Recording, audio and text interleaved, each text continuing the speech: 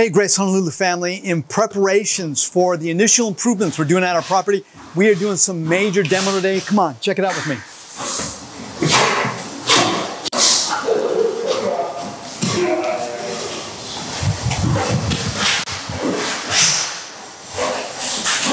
Woo! It is amazing how much we have accomplished today because people are working together in unity. And not only that, but before we can put on the new, before we can make the renovations that we want to make, we have to take off the old. So here's what I'm inviting us to do as a church.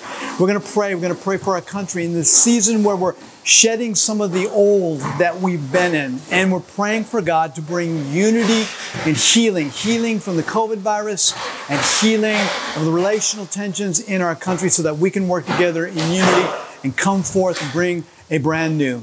So, Lord, we thank you. We thank you, God, that you are a God of oneness. We thank you that you are a God of healing. And Lord, what we need, only you can provide. So, Lord, we pray together that you would forgive us of our sins.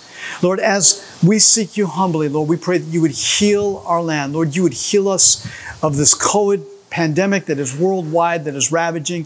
And we pray, God, that you would restore health. And we pray, God, relationally, that you would bring forth healing and that you would bring forth unity so that we can work together for the good. And ultimately, especially us who are followers of Christ, we can work together for the good of your kingdom. We choose to love unconditionally and to pray for the unity of our country and our world. In Jesus' powerful name.